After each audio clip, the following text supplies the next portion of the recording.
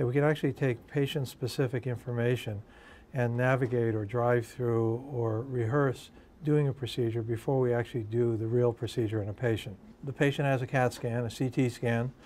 Um, then we send the data to a company. The company um, takes that information, puts it in a machine called a three-dimensional printer or 3D printer. And this is actually a 3D print. If you look at paper prints and, and what that meant in terms of technology, this is the manufacturing of a, a 3D print that's made of polymers um, that's very patient specific and has all the anatomic detail that comes from that patient's CAT scan. This is all about making what we do better and making outcomes better and delivering better patient care in the end.